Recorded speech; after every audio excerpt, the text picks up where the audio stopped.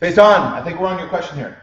Hey, Robert, I'm sorry to do this in a private chat, but since I moved to Denmark, sporadically I have to suffer from sore throat and am unable to continue my practices.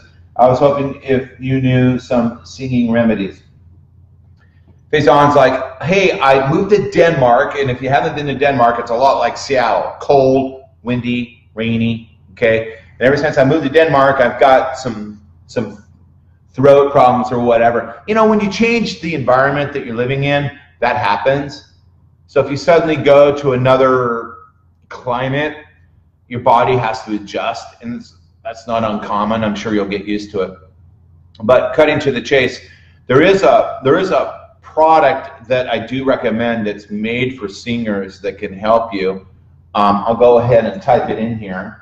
It's called Singer's Tea.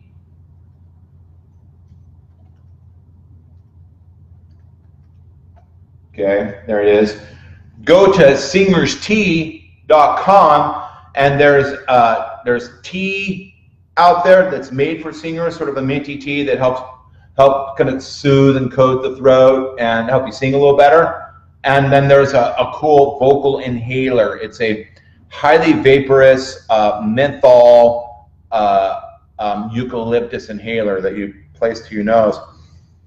Inhale it and it opens your sinuses, gives you a little buzz too. So it's really great for singing. Go to singerstea.com and take a look at that product. Um, it's great.